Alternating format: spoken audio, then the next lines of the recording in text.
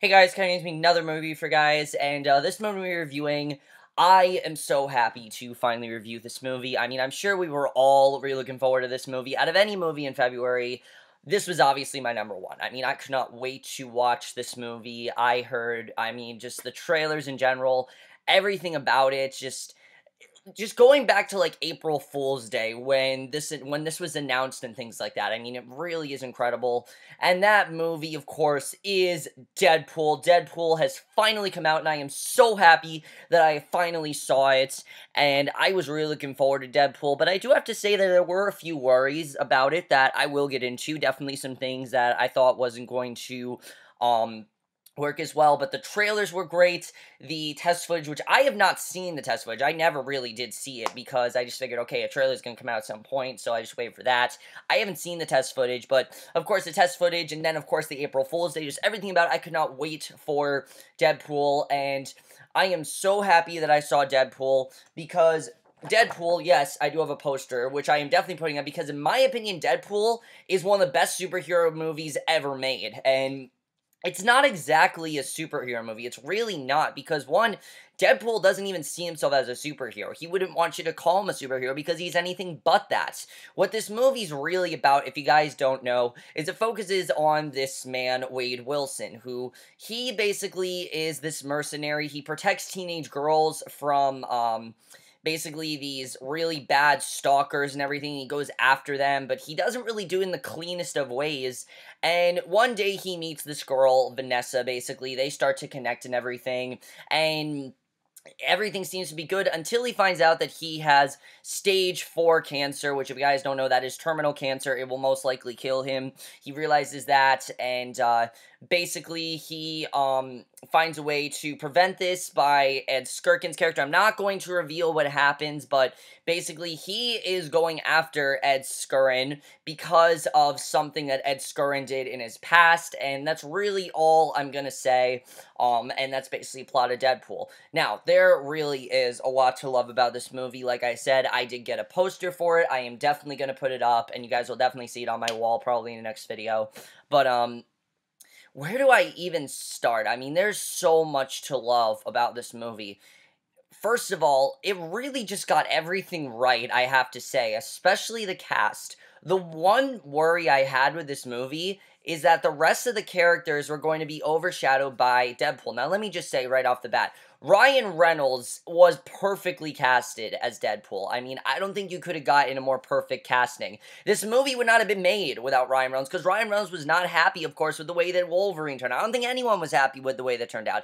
They didn't get to use him to his full potential. They didn't really get to explore Deadpool, and I think they really only did that so they could censor the movie. But no, this one didn't at all. This one was just like, we don't give two shits what we're doing. We're going to you know, make the character Deadpool the way he should be, and I love that. But I also really love the character Wade Wilson because, like I said, he doesn't really see himself as a hero. He sees himself as this guy that's doing some really bad things, and it's just helping out other, you know, protecting people from even worse people. And I found that very interesting about him. I really loved his character, but he was also so funny and such a great lead. He was hilarious. He just had so many great one-liners, too many to name, definitely too many one-liners to name, and it's really one of those movies where you want to go back and rewatch everything that he said because it's just that funny. They do make fun of Wolverine this movie, I'm gonna tell you guys that right now, they do make fun of that. They even make fun of Green Lantern, which is great, just everything about Ryan Reynolds, this character. Like I said, I couldn't see anyone else playing this character. He just has this character down perfectly.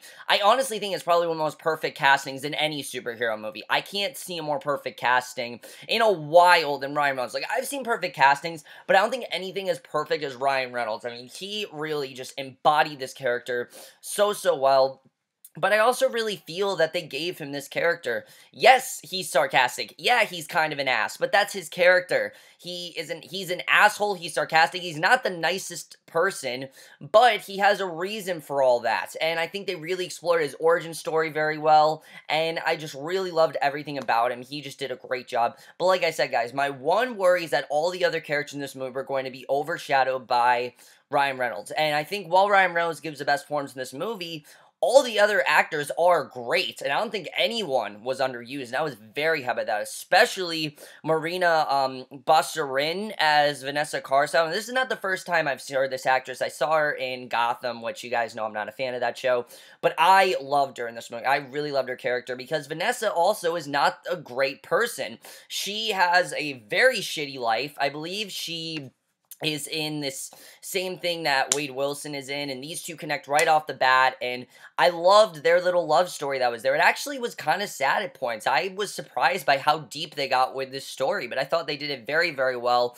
It starts off as a sexual relationship and then becomes a lot more, and I really love these two. I think they did a great job together. They had really great chemistry, and I really didn't know what role Vanessa was going to play in the movie because we saw only a few scenes of her in the trailer. I thought that's all we were going to get. And I also felt that this was just their way of like getting us to care about Deadpool and showing why this movie's important. But no, their love story felt very genuine. and I really loved it, and I thought they just did a very good job. And I'm happy they went the direction with Vanessa that they did because I thought someone's gonna happen to her and didn't, and I'm very happy that they didn't go that direction. I loved her character; thought she did a great job, and I just thought she was fantastic. Now, the one person I know a lot of people are going to talk about is Ed's um, Skrein. Sorry if I'm pronouncing his name wrong. Ed Skrein. I not see the transport refueled. I don't plan on watching it. I heard that movie was shit.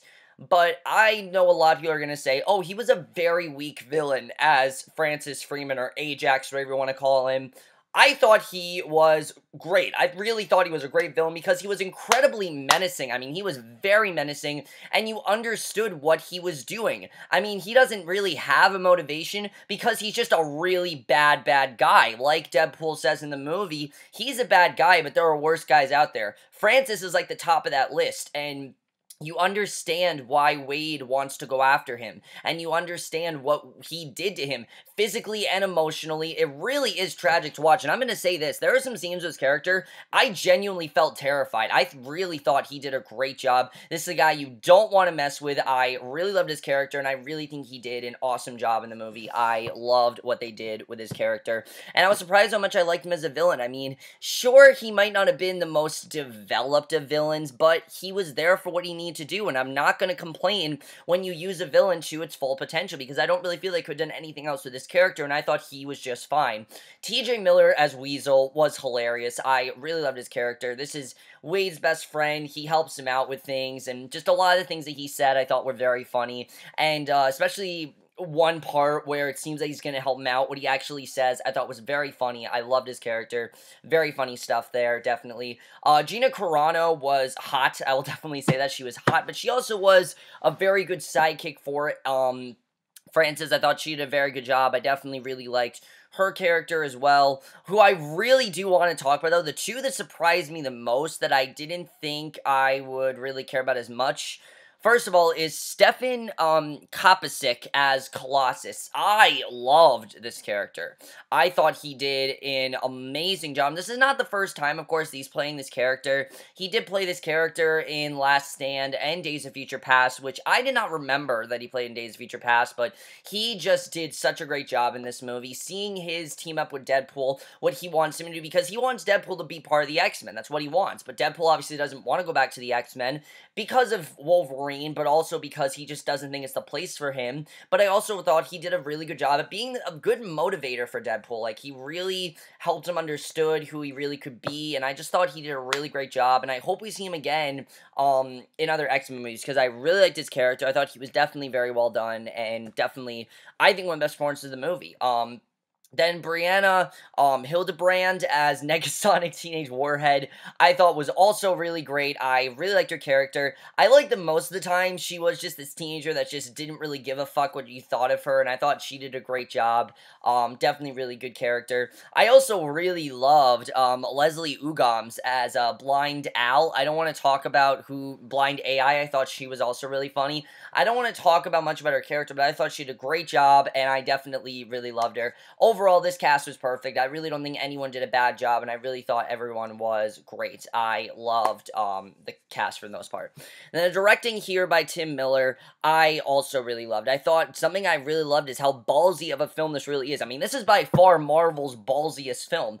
Not just because of the nods they make to other Marvel films, but knowing this is a Marvel film, you think they go in a family-friendly direction. I mean, we all remember Mario Lopez's whole thing um, on April Fool's Day when he said, well, you gotta make this family-friendly. I like that they didn't do that. I like that they made this adult. You need to make this character adult. If this was family friendly, this movie would not have worked. You need to make it adult, and I'm glad that Tim Miller went in that direction. But what I also really loved is that his direction in this movie is never really mean spirited. And that was something I was thinking that he would just be offensive or raunchy to be raunchy, but that's not really what he did at all. I thought his directing was very impeccable actually i thought it was very funny at times, but also had a very good message of what a hero really is. I really feel that's one of the big parts of this movie that it really goes into what it means to be a hero, which I think a lot of movies nowadays don't really get done as well. I mean, things like the Avengers, yes, they're heroes, but what does it really mean to be a hero? What are the qualities you need to have for that? I think the movie really explained that very well,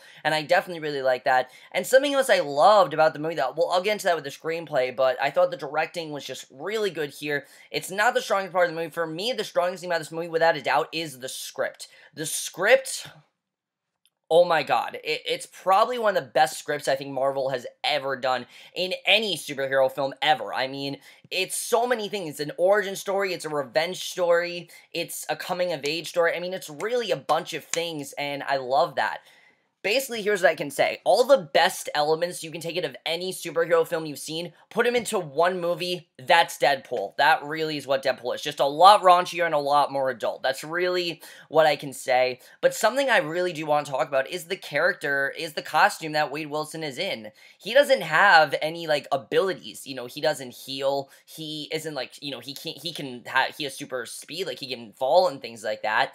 But he really when he gets hurt he gets hurt really really badly and i really like the way they did that here. It showed that he is just a human being. He's not you know while he has a mutate and things like that he is still, you know, just a human being and he can get hurt and he's not always going to win. And I think the movie showed that very, very well. He has to do some very questionable things to get out of this situation, and I really like that too. But like I said, one of the things I was most impressed by was the love story in this movie because they could have easily made this just a very oversaturated, serious version, but no, it was still very funny. It was still a lot of fun to watch, and also very meaningful. Like you really understood what went wrong in that relationship and why Wade had to leave Vanessa and things like that and why things just turned out the way they did. I really felt they did that very well. I really enjoyed that and there were some really great scenes between these two that I surprisingly really loved. And something else I loved is that I never felt like the movie was wasting anyone's potential. I felt like all the characters got the screen time they needed. The writing,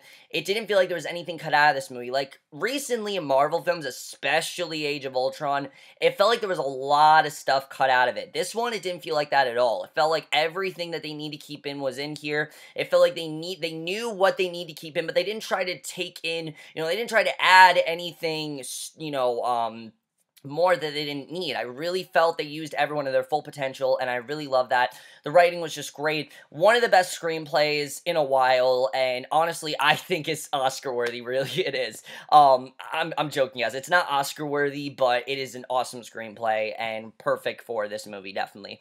The cinematography here at times feels very low budget, and honestly, I really appreciate that because we're so oversaturated on these Marvel films, and there's so much action and things going on them that I liked a movie that was more toned down. I know a lot of people have said this. This movie really does feel like an India points. And honestly, yeah, it does. It doesn't feel like a Marvel movie, and that's kind of the direction they wanted to go in. They wanted to show that, yeah, we can do these big action scenes, but it doesn't have to be throughout the entire movie. There are, I'd say, three action scenes this entire movie. Now, there are little sprinkles here and there, but like full on action scenes, there really are only three. That be the beginning, a scene in the middle, and then the end. That's really only the three action scenes, and I definitely really did appreciate it. And they're very well choreographed. They're very well handled. And I like that this was set in modern day. I definitely thought that was very well done. Um, the wide shots, I love that they made fun of certain shots and angles, things like that. I mean, this movie really took in everything. And I've never really seen a movie that makes fun or has many breaking the fourth wall nods as this one does. And I love that they did that. I thought that was awesome.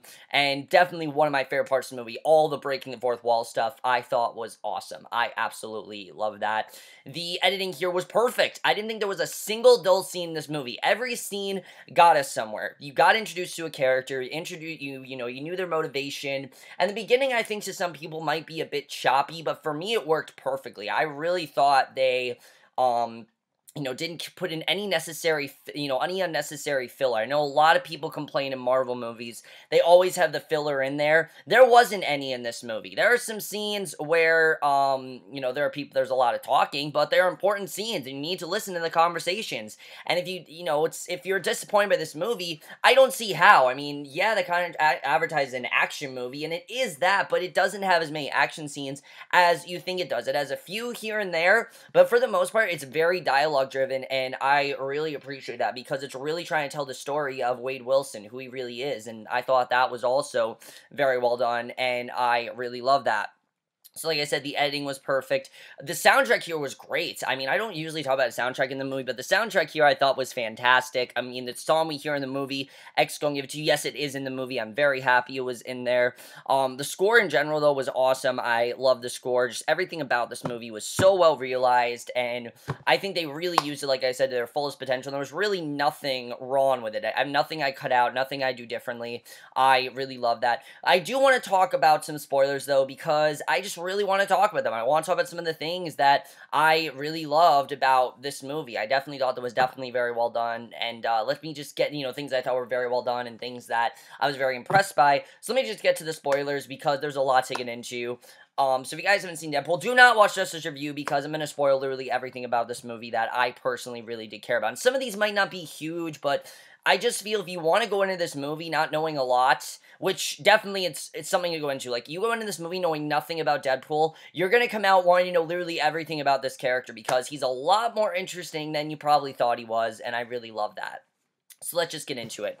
Okay, so I, I think I first want to talk about how brutal the torture scenes really were. I mean, those torture scenes of Deadpool being, you know, of Wade being tortured by Francis, they're brutal as hell. I mean, I couldn't even look at the screen at some points. They were really hard to watch, especially when he mutated. And I, I didn't talk about in the spoilers because it's not the you know the plot of the movie is us knowing he's hunting down this guy, not knowing what he did. So I didn't really want to talk about in the spoilers. But those scenes were so hard to watch. I honestly cringed, guys. I really did. I mean, they were really hard, but very well handled. And that's something else I really did admire. I mean, think of the scene Think of some scenes in Marvel movies that have been PG 13, they haven't really been able to do a lot with them. Well, here they can. They can show people being beaten up or shot to death or, and shot and things like that. They really did all that very well, and I really love that. But I think the thing I really want to talk about is the final fight between Wade and Francis. I mean, First of all, Francis admitting straight out that there's no cure for what Wade for what he did to Wade. It really shows that I think the real motivation in this movie, the real villain, is the decision. I mean, I think really, while Francis is our main threat, obviously, the decision really is the thing that has made Wade the way he is. And he even says in the movie, if I wouldn't have made one, you know, every my life is revolved around one decision, I really think his life would be different, and he understands that, and I really like seeing that. I think they did that very, very well. Then the ending with Vanessa, I didn't think Vanessa was gonna live. I honestly thought she was gonna die because I believe in the comics she does die. I'm not sure. But um, when she didn't die, I was pretty surprised, honestly. I was like, wow, she's actually alive. And then when he removed his mask and showed her his actual face, it's a very genuine scene. I really loved it. And I like that she wasn't scared. Like she said, yes, it obviously is shocking and she's going to need to think a little bit. And I love how she said, but it is a face I'd sit on. I mean, it's just perfect. It is. I mean, yes, it's it's silly, but it's perfect because no other Marvel movie they could say that in, and I just I love that. I love it. I think it's awesome. The ending with them was perfect, and then the post credit scene. Oh my god, I loved it. The nods to Ferris Bueller's Day Off. Um, things like that. Deadpool literally asking us if we're still here and telling us to go home, and then blatantly saying that we're not going to have a post credit scene and saying that there's going to be cable. No, I know nothing about this character, let me just say. And I know, I know I'm stupid for not knowing that, but you guys know I go into these movies blind. I don't want to know a lot about the characters. I don't look up their history. I don't want to. I want to go into it not knowing a lot so I can be surprised because I think if you go in having all this research, you're going to be disappointed. And that's why I didn't do anything of that with Deadpool. I knew absolutely nothing about this character except what the trailers told us, and I'm very happy I did. Um, I just love the way the movie and I thought that was perfect. And overall, guys, I doubt also that speech that Colossus gave him. Some people might say that he didn't really listen to Colossus, and I kind of understand that. But in many ways, I think he did because he saved Vanessa. And yes, he has four other deeds to pull off, but I kind of see Colossus as kind of being like a mentor to Wade. Like he's gonna come in when he needs him. I do feel we're gonna see Colossus and Warhead again in the um other movies. I definitely think that's going to happen, but we'll have to see. But overall, guys, I absolutely love Deadpool. It's probably one of the best superhero movies I've ever seen, and without a doubt, Deadpool gets a 5 out of 5 or an A+. plus. And I know some of you might be like, what, an A+, plus? why not a 4.5 out of 5? I just feel this movie was done perfectly. If there really wasn't anything that I'd change, there wasn't anything that I feel they could have done differently, and I literally have no complaints. And when I have no complaints over anything, I got to give the movie an A plus. I just have to, and I I don't feel right about grading this movie if I don't give it an A plus. I just wouldn't feel right about it. So overall, guys, I know what you guys of Deadpool. I absolutely love this movie. Everything about it, it was hilarious, but it was also very impactful. Surprisingly, like it had a really good message, and I very much was surprised by that. Like I said, look to the look forward to this poster being up in the next few videos. And I will see you guys next video, which will be for Teen Wolf. And I will see you guys for that. Okay, bye.